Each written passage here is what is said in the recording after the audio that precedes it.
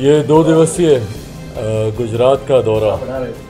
आप सब जानते हैं कि गुजरात में आने वाले दिनों में जल्द विधानसभा के चुनाव होने वाले हैं और इसकी अधिसूचना कभी भी जारी हो सकती है। लोक जनशक्ति पार्टी रामविलास और हमारे नेता, लोक जनशक्ति पार्टी के हमारे संस्थापक, हमारे आदर्श, आदरणीय रामविलास पासवान जी का विशेष लगाव हमेशा गुजरात और गुजरात के लोगों के साथ रहा।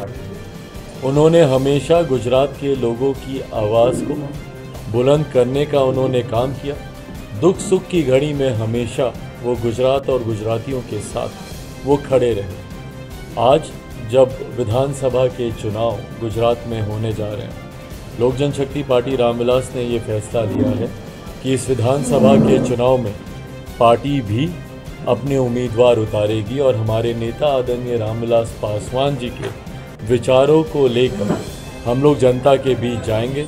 उन्होंने जिस तरीके से गुजरात की आवाज़ को बुलंद करने का काम किया, उसी आवाज़ को मजबूती देते हुए उनका पुत्र होने के नाते, पार्टी का अध्यक्ष होने के नाते ये मेरी ज़िम्मेदारी भी बनती है, मेरा उत्तरदायित्व बनता है कि मैं अपने नेता, अपने पिता के हर सपने को पूरा करूँ।